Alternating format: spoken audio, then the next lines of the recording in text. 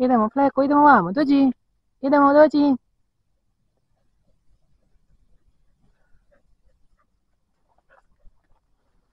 Nakon čišćenja prvog dijela staze ovaj.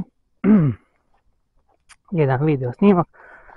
Ovaj, pa ću onda da vidim koliko će biti potrebno sljedećeg ovaj čišćenja.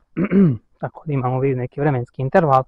Znači, staza ovaj, to bi se rekao kulturno, znači čista. Može visoki, znači ranac bez problema. Sada, ovaj, nije se moglo prolaziti ovaj, na, mnoga mjesta, ovaj, nego ono malo bočno. znači, staza solidno, znači čista. Da ne kažem, perfektno. Znači, sada stanju, ovaj prvi dio očišćene staze.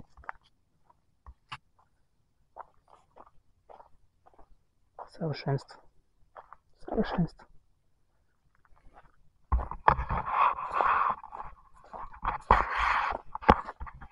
No da kažem, ovaj dio koji je potrebno bilo baš najviše vremena ovaj, za čišćenje, sam završio, idemo sad lagano a, ka grlici.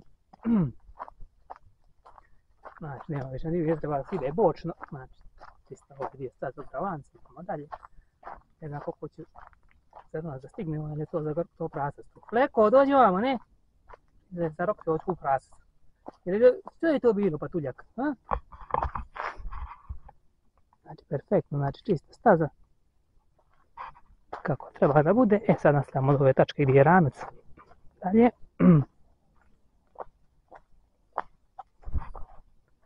Nekadašnja, znači stara markacija.